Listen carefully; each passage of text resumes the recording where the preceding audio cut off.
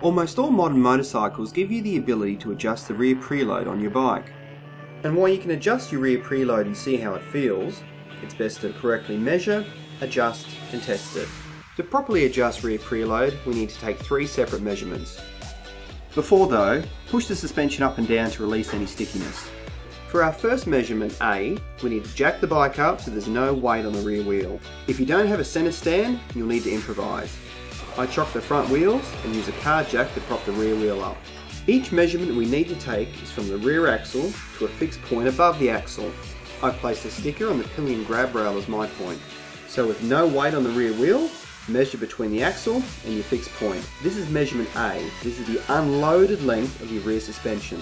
For measurement B, put the rear wheel back down. Again, measure the rear axle and your fixed point above it.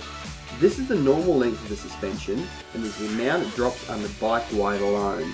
Finally, we'll measure C, or the loaded length of your rear suspension. To do this, you should sit on your bike in the riding position, preferably with all your gear on to be as accurate as possible. As you'll be on the bike, you'll need someone else to take the measurement for you, same as before. Let's now use the measurements. The difference between A and C is what we'll call rider sag.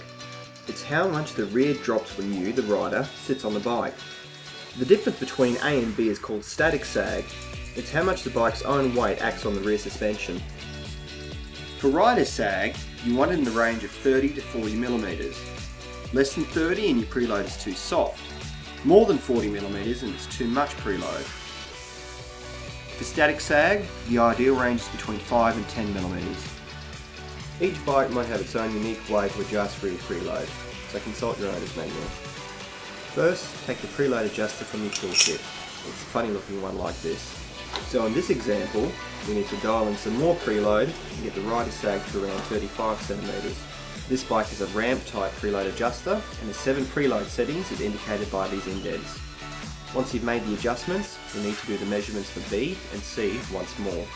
If after getting your rider sag right, your static sag is still out of the range, it might mean you need to get a softer or stiffer spring. Finally, take your bike for a ride and test it on a variety of surfaces. Make sure it feels right to you.